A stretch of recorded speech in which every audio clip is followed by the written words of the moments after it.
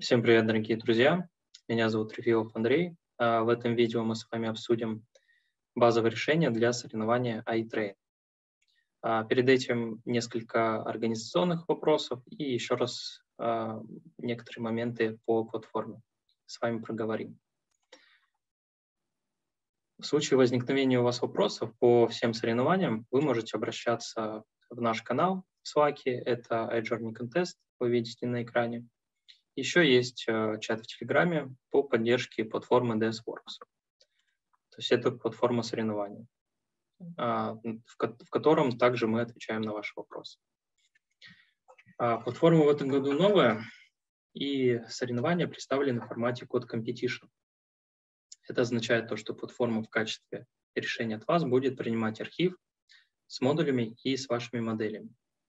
А, будет основной модуль, в некоторых задачах, таких как э, NoFire Visa и Train, этот модуль SolutionPy, который после себя должен выдавать а, ваши предсказания, которые уже будут сравниваться с истинными метками, и по ним будет строиться лидерборд. А, контейнер с решением запускается в следующих условиях. То есть вам будет доступно 94 гигабайта оперативной памяти, 3 виртуальных ядра и одна видеокарта TSVV100 с 32 гигабайтами памяти. То есть в таких условиях будет запускаться ваше решение, ну и, собственно, отрабатывать ваш инференс, ваши предсказания. Так, а, пару моментов о том, что вам нужно сделать, чтобы принять участие. То есть вам нужно сначала войти в систему DSWorks, или создать аккаунт. Ну, регистрация, в принципе, тривиальна. А какие моменты необходимо запомнить? То есть а, после того, как вы зарегистрировались, вам необходимо будет заполнить в настройках ваш профиль. То есть там имя, фамилия, город, а, университет, в котором вы учились, номер телефона. Затем вам необходимо будет нажать кнопку «Участвовать в соревновании», она где-то здесь, по-моему, будет. И а, вам нужно будет создать свою команду. Даже если вы участвуете а, в одиночку, то вам все равно необходимо будет создать команду. После этого у вас появится вкладка «Загрузить решение», и вы сможете загружать решение в соревнования попадете в лидерборд. А, пару моментов. Если вы захотите объединиться впоследствии с кем-то из участников, то вам необходимо будет написать в чат поддержки DeskWorks, вот здесь, ссылка на этот чат, а, для того, чтобы организаторы смогли вас объединить. То есть это делается только через них вручную. А второй момент. Название команды не должно содержать дефисов. То есть, ну, у меня, например, были с этим проблемы, а, появлялись ошибки. Вот. Ну, постарайтесь такое более-менее нормализованную, нормализованную строку сделать в качестве названия команды. Так, что еще? А, бывает так, что на, ли, на лидерборде появляется оценка э, нулевая. Это говорит о том, что ваш сабмит не прошел, э, внутри контейнера при выполнении вашего сабмита э, произошла какая-то ошибка, какой-то exception. Э, ребята, которые разрабатывают платформу, работают над тем, чтобы эти ошибки были, ну, чтобы появились логи по этим ошибкам то есть чтобы у вас была какая-то обратная связь. Вот. Но сейчас пока этого нет, и вам необходимо писать также в чат в Телеграме. А, ребята постараются вам ответить на ваши вопросы. То есть если оценка 0, это означает, что код не выполнен и произошел какой-то exception. Да, внимательные зрители могут увидеть, что я рассказываю на примере соревнования NoFire with но это все также актуально и для других соревнований, в том числе и для AI-трейд. Кстати, вот кнопка «Участвовать». Давайте обсудим цели и задачи соревнования e-train. А, задачи – это построение алгоритмов для определения препятствий и элементов железнодорожной инфраструктуры. А, в качестве цели, наверное, можно выделить, что такие системы искусственного интеллекта, компьютерного зрения позволят повысить безопасность и, в принципе, являются хорошим приложением искусственного интеллекта.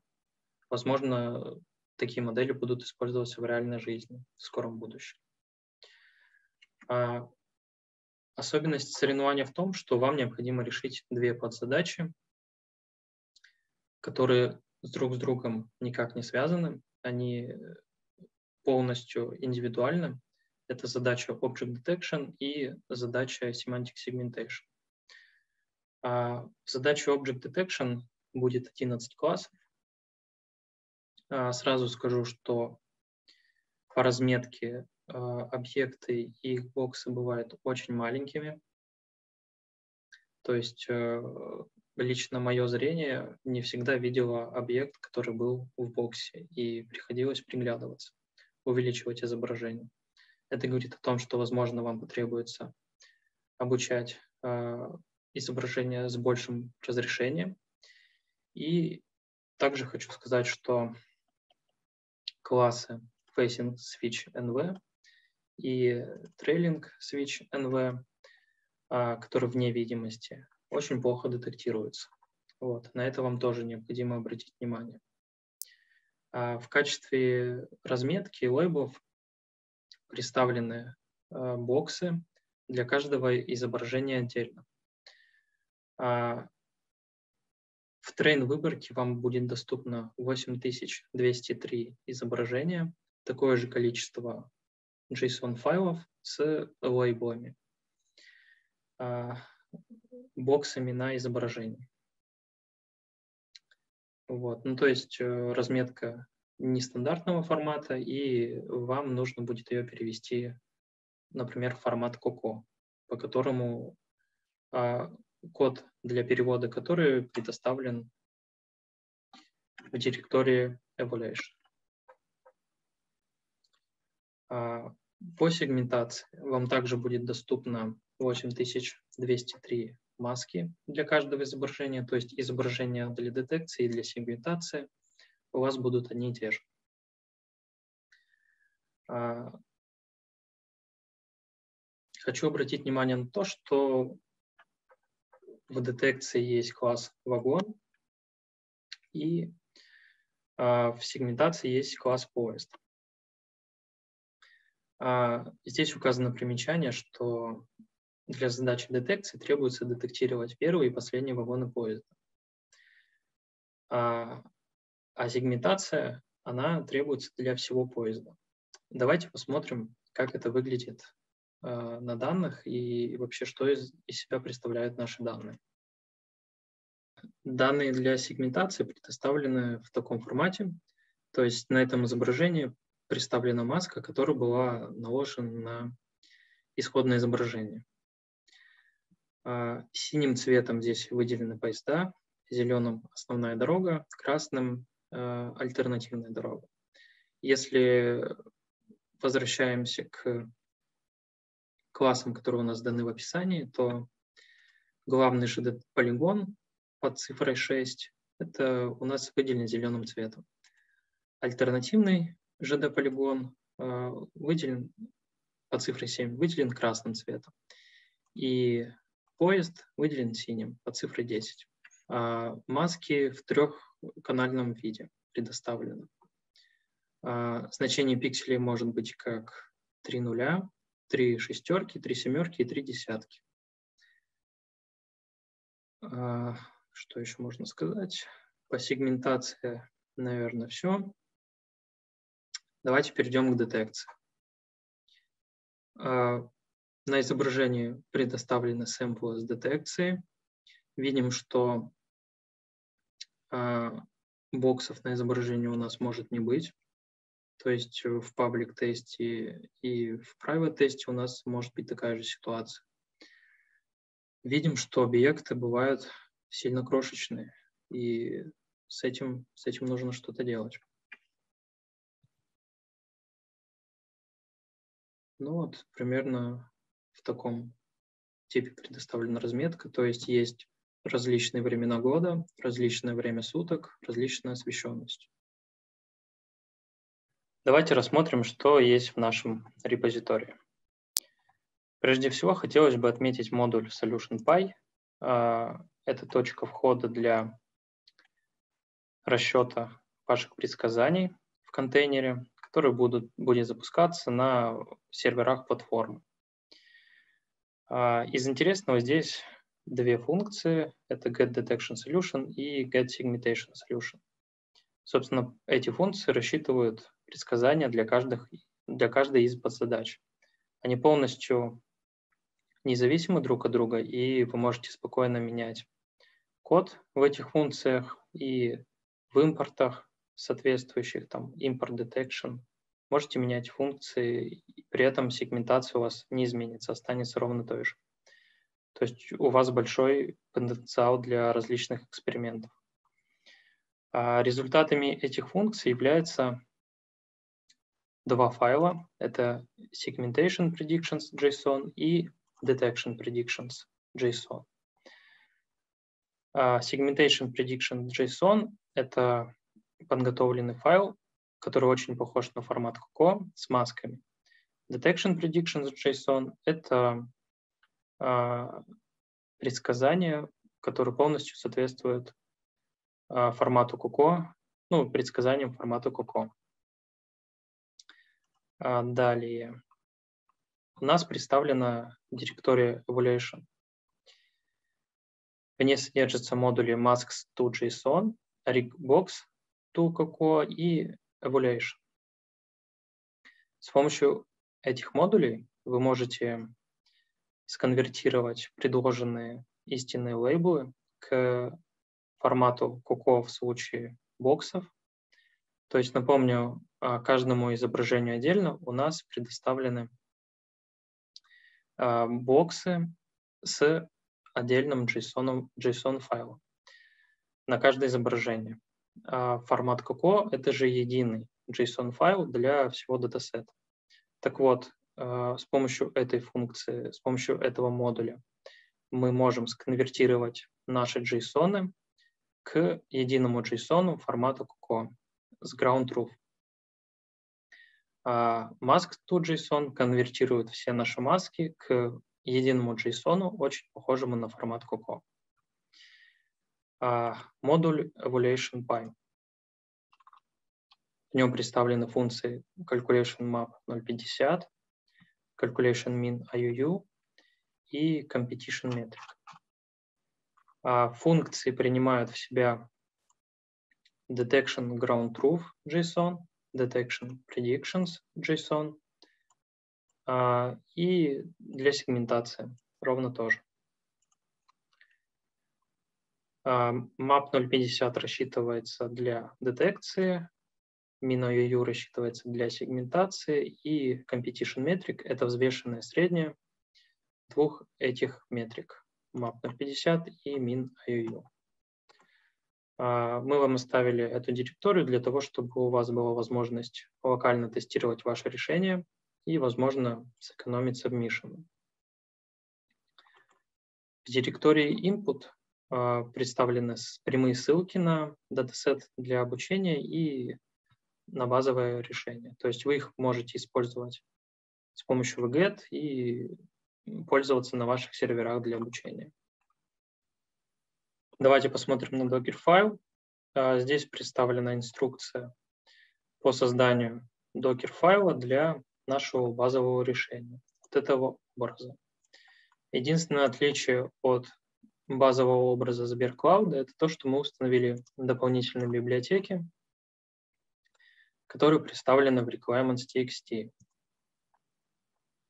Ваши сабмишины будут оцениваться с помощью кастомной метрики которая указана в readme репозитории. Это competition metric, а, который является взвешенным средним между map05 и min.uu, и который мы уже показывали вам а, в директории evaluation, модуль evaluation.py. Код метрики представлен здесь. А, также хочу продемонстрировать возможность сортировки, ранжирования на лидерборде по а, competition метрик и отдельно по метрикам для сегментации и детекции. Можете смотреть а, ваши лучшие посылки, какой скор на каждой из подзадач. Давайте рассмотрим более подробно Detection Baseline IPNB. В нем представлен код для обучения модели для подзадачи Object Detection. А, прежде всего хочу отметить, что здесь есть кнопка Open in Collab, а, немножко минутка рекламы. Мне кажется, Collab достаточно удобная штука, и в целом она может вам сэкономить много времени. И если вы не владеете ресурсами мощными, то можно оформить подписку, стоит она в целом не так дорого. Так вот, а, в этой тетрадке представлен код для обучения под задачи Object Detection.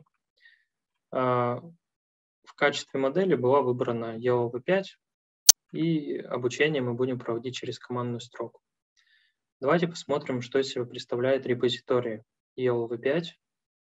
А, как видно, что у него достаточно большое количество звездочек, 17 тысяч. Это говорит о том, что он очень популярный. Скрывается за популярностью то, что этим репозиторием, по моему мнению, достаточно легко пользоваться, он понятный. А, недавно появилась возможность а, под, подстановки своих аугментаций в код обучения. Ну, также есть настройка встроенных аугментаций и настройка параметров оптимизатора. В целом, мне кажется, достаточно просто и удобно им пользоваться. А минусы этого репозитория, этой модели в том, что по ней нет статьи на архиве и нет сравнения с EOLV4 и Scaled EOLV4. Возможно, эти модели будут лучше работать и вообще, возможно, не лучше работают, чем EOLV5, а, проблема их в том, что они написаны не на PyTorch. Вот. Но, по-моему, есть какие-то репозитории именно на PyTorch. То есть, в принципе, вы можете сами потом посмотреть и поэкспериментировать с другими моделями. А, кроме того, EOLV5 — это одностадийная нейронная сеть. Это говорит о том, что она быстрее работает, чем двустадийная нейронная сеть, и сейчас по качеству в целом, начиная с ее V4, приблизились или даже превзошли двустадийные нейронные сети. В целом это семейство нейронных сетей достаточно популярно для задачи Object Detection. Итак, а, для установки нам необходимо склонировать этот репозиторий и установить все необходимые зависимости. Также предлагаю сканировать наш репозиторий, потому что мы будем импортировать нужные функции из модуля helpers. А здесь представлена команда wget для загрузки данных для обучения модели, команда для разархивирования. А, как было сказано, у нас 11 классов. А, в этой ячейке мы разобьем нашу обучающую выборку на подвыборки train, валидацию и тест. А в предложенном варианте бейзлайна разбиение сделано с помощью э, случайного, то есть, скорее всего, потребуется как какое-то более умное разбиение. Так. А для обучения EOLV5 необходимо подготовить данные к нужному формату, так называемый формат YOLO. А здесь представлено описание того, как должен выглядеть этот формат. А,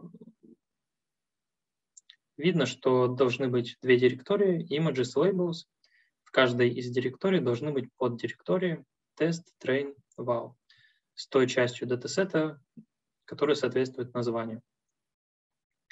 А в каждой из этой папок должен лежать отдельно файл изображения в папке images и к этому изображению отдельно лейбл. То есть видно здесь 0 JPEG лежит в папке, папке images и 0 TXT лежит в папке Labels.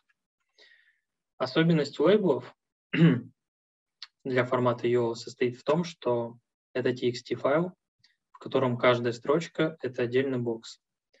Давайте посмотрим на код подготовки разметки в формате YOLO V5, в формате YOLO. А, на первом месте указывается в строке для каждого бокса а, порядковый номер класса. То есть в нашем случае у класса car порядковый номер будет 0, у класса human единицы и так далее. А, далее через пробел указывается координаты центра x, y. Далее через пробелы также указывается ширина и высота бокса.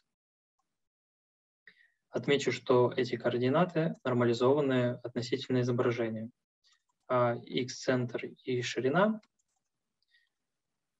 а, делятся на ширину изображения, y-центр и высота на высоту изображения. А, здесь есть замечание, что если вы не хотите пропускать примеры без разметки, необходимо оставить это условие. Это дальше учитывается при обучении модели. А, с помощью этих функций, которые предложены в модуле helpers, который мы импортировали вот здесь, мы создаем, собственно, нужного формата датасет, а в файле iTrain dataset YAML мы должны создать и описать а, наш датасет. То есть мы должны создать файл с описанием датасета. Представляет из себя он следующее. А, мы должны указать пути до наших датасетов, до наших частей, то есть обучающие, валидационные и тестовые, должны указать количество классов и должны указать название класса. Напомню, что порядок в лейблах считается с нуля, и он считается вот по этой строчке в файле iTrain dataset YAML. А, далее нам нужно выбрать модель. А, по стандарту предлагаются такие модели, но в бейзлайне была выбрана модель ELV5M6.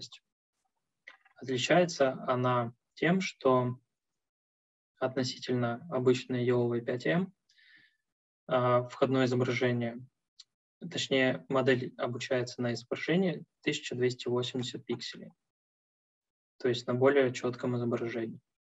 И для валидации также можно использовать это разрешение. А, в бейзлайне была предложена замена аугментации flip LR на 0, то есть э, вероятность этой аугментации нулевая. Почему? Потому что в нашем датасете существуют классы, которые зависят от левой, правой сторон. Собственно, нам это будет важно. А, модель обучалась 16 часов на видеокарте Tesla P100, доступной на Коллабе по подписке Pro. А, видно, что на валидации мы получили такое качество. Можно отметить, как я уже сказал,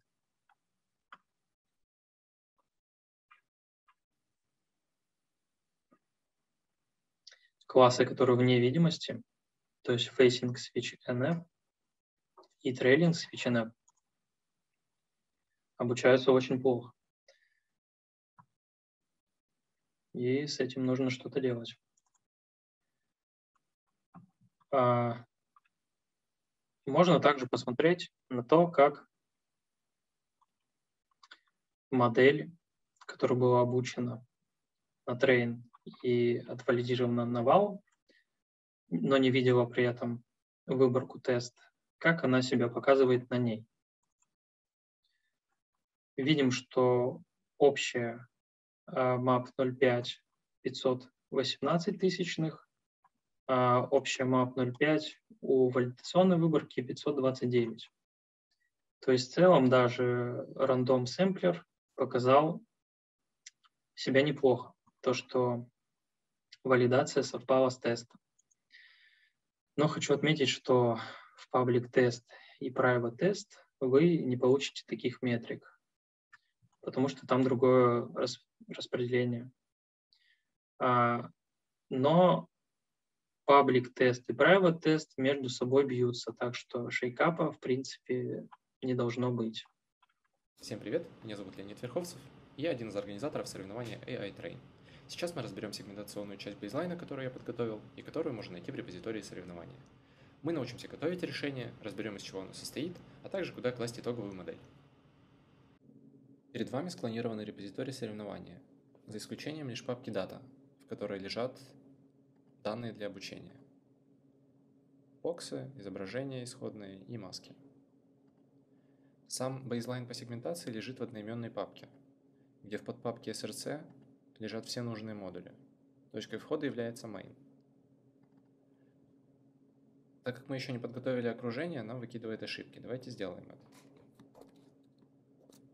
Вот инструкции, с помощью которых можно подготовить окружение. Я использую конду, вы можете использовать что-то другое. Для начала создадим окружение.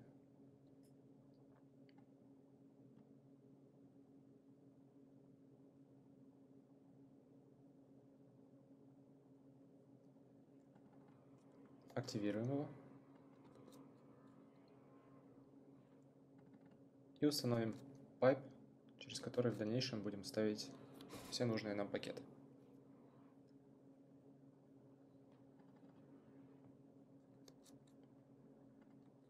Как вы можете заметить, я использую локальные requirements txt.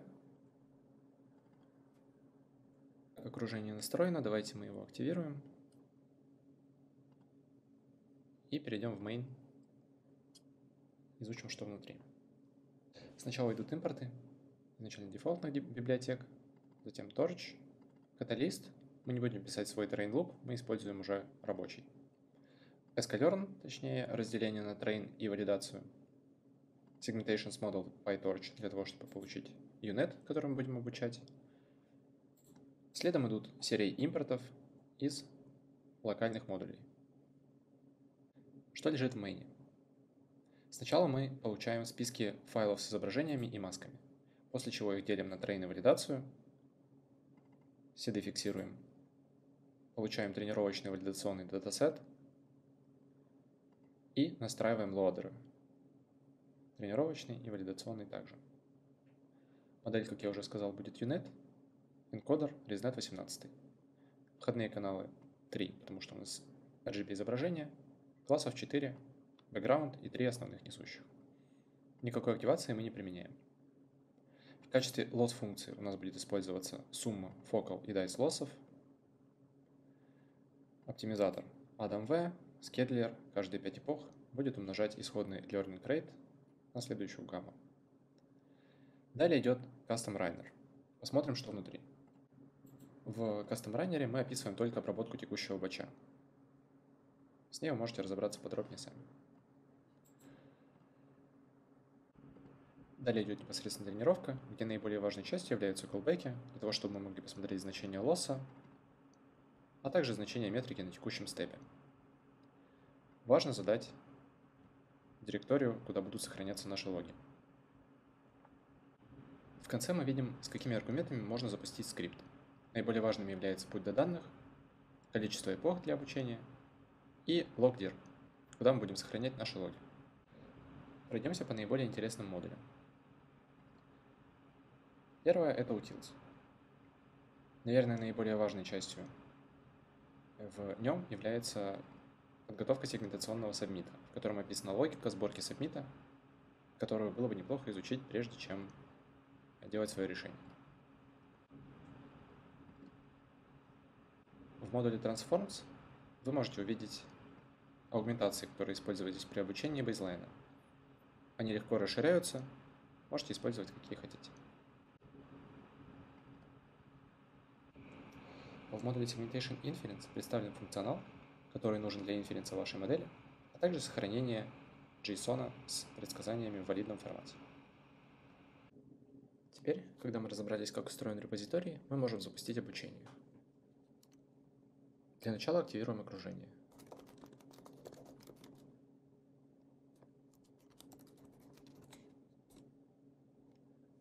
Убедимся, что мы находимся в нужной папке. Как мы можем заметить, это папка репозитория. Скрипт запуска выглядит следующим образом. Сначала мы указываем девайс, на котором будет запускаться обучение, после чего показываем питону, где лежат наши кастомные модули. Далее следует непосредственно скрипт запуска. Тут мы кастомизируем только папку с логами. Запустим.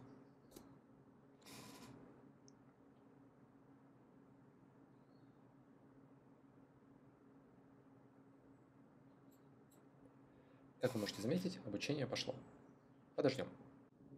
Итак, мы снова в текстовом редакторе. Как вы можете заметить, появилась новая папка loggears под папкой EDU в ней. В них лежат три папки checkpoints, logs и логи тензорборда. Нам важны checkpoints. Внутри них лежат сохраненные чекпоинты моделей. Давайте возьмем лучшую из них, скопируем ее и вставим в папочку models, не забыв при этом изменить имя на segmentation model и немножко поменяв расширение. Это не принципиально, вы можете указать другой путь в solution.py. Вот и все. Часть сегментационным сабмитом готова. Итак, давайте обсудим то, как должна выглядеть посылка, валидная посылка, для того, чтобы а, система смогла прогнать ваше решение в контейнере без каких-либо ошибок, без эксепшенов и так далее. Ну и также, чтобы та самая ошибка с нулем у вас не возникала. А, во-первых, файл э, в директории с архивом должен быть файл metadata.json. А, в нем должна быть следующая информация.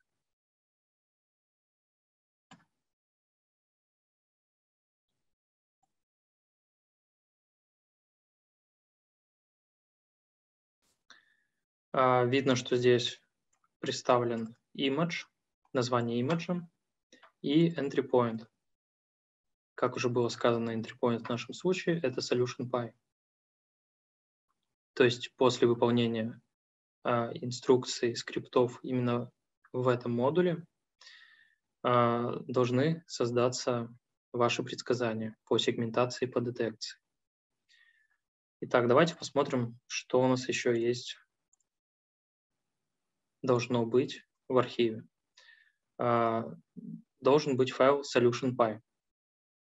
Как уже было сказано, это основная точка входа. А, должны быть две директории segmentation и detection. Должна быть директория models. Давайте посмотрим, что в директории models. В директории models должны быть модели.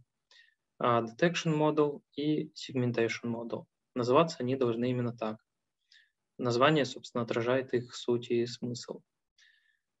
А, директория detection нужна для а, предсказания, для создания а, detection predictions JSON. Основной модуль здесь – это detection predict. Давайте посмотрим, что он на себя представляет.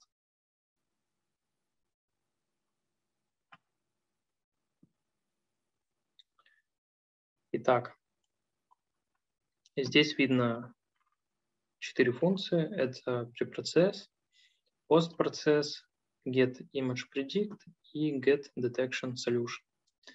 А, модуль solution.py вызывает функцию get detection solution с нужными аргументами. Внутри этой функции выполняется загрузка весов модели, переключение в режим оценивания, то есть предсказания, э, и, собственно, выполнение предсказания для каждого файла отдельно. Перед этим выполняется некий репроцессинг изображения и также выполняется постпроцессинг изображения. То есть здесь есть non-maximum suppression с параметрами по умолчанию, параметрами трешолдов по умолчанию.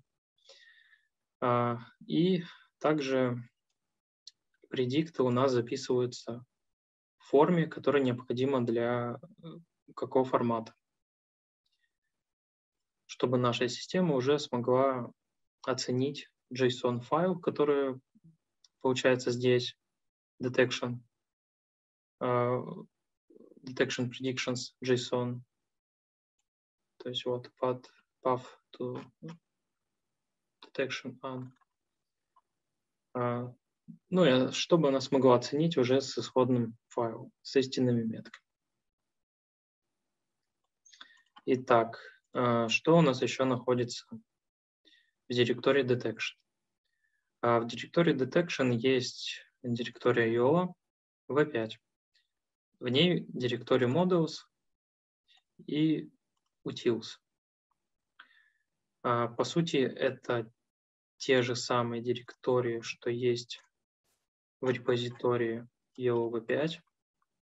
Сейчас я переключу демонстрацию на браузер.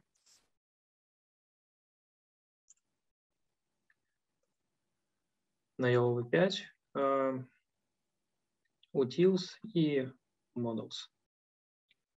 Есть несколько различий. Из директории models и utils выбраны не все модули и файлы, которые представлены в этих директориях, потому что не все они нужны для инференса, для предсказания модели детекции. В некоторых модулях закомментированы некоторые функции и некоторые импуты, импорты, прошу прощения. И а, еще сейчас продемонстрирую. Например, в модуле utils GeneralPy есть импорт utils downloads. А, мы также прописали абсолютные пути, то есть здесь from detection, Hello 5 utils downloads, а, для того, чтобы было меньше проблем с контейнером на сервере. Итак, то есть для решения вам необходимо будет предоставить такой архив, а, в котором должны содержаться следующие файлы и директории. Директория segmentation должна быть директория source и э, вот эти модули, которые необходимы для расчета инференса по сегментации. Всем большое спасибо за просмотр, друзья. А, надеемся, данный видеообзор был вам полезен. В случае возникновения у вас вопросов, вы можете сейчас их задать в чат, и мы вам на них ответим. Желаю удачи. Мы закончили наше видео выступление эксперта. Можно задать вопросы, и вот уже вопросы появляются в чате, поэтому там, Максим, Андрей, Леонид, можете на них ответить. А, да, конечно. Всем добрый день еще раз. Э, ну, первый вопрос. Сколько картинок в приватной части теста? А, так, у нас на в паблике 300 картинок, в привате порядка 700 картинок. Э, на приватную часть там не будет распространяться ограничение на время инференса, оно действует только на паблик часть. То есть если вы 300, если вы проходите по времени паблик часть, то с приватом у вас тоже все хорошо будет. Э, запись будет доступна, она появится на главной странице соревнования через пару дней, скорее всего. Э, что такое объекты вне видимости, которые находятся сбоку от текущей траектории поезда? Э, объекты в невидимости это, ну, это тоже стрелки, но на которых невозможно определить, куда прижат остряк. То есть у нас есть стрелка, которая отправит поезд влево, стрелка, которая отправит вправо. А если по картинке непонятно, левая стрелка или правая, то она помечается как в не области видимости. То есть, как э, Андрей правильно заметил в видео, э, ну, скорее, это очень маленькие объекты, по которым ну, вообще сложно, можно понять, что это стрелка, но непонятно, куда она смотрится.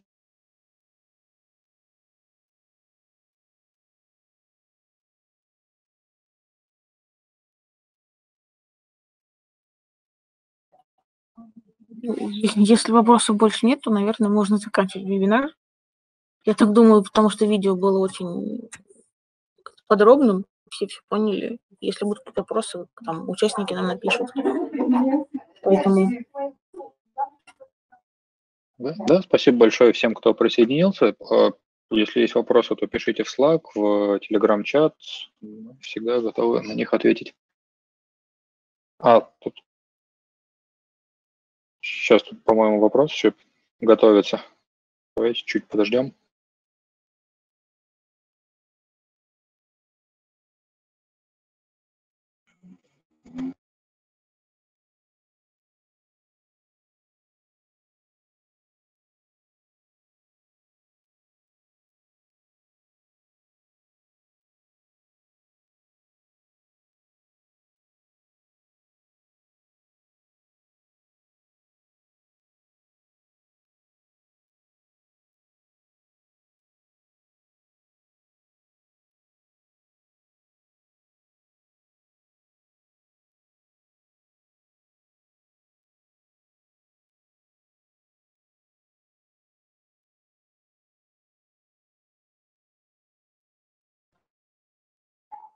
Леня, если ты что-то говоришь, тебя не слышно.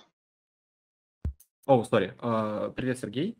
Uh, мы сохраняем JSON только один раз. Мы сначала все готовим, вот, но на вход, да, нам поступает список с путями до каждой картинки, чтобы мы могли вычленить uh, верный шейп, какому ресайзить, насколько я помню.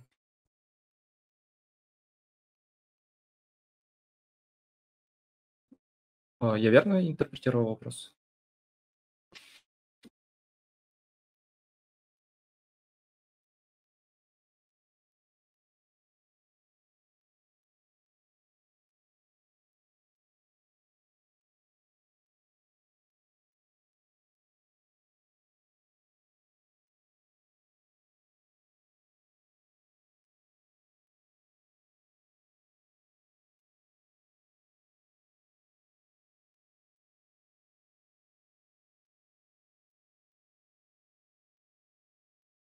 Да, если что, будет непонятно, пиши, помогу.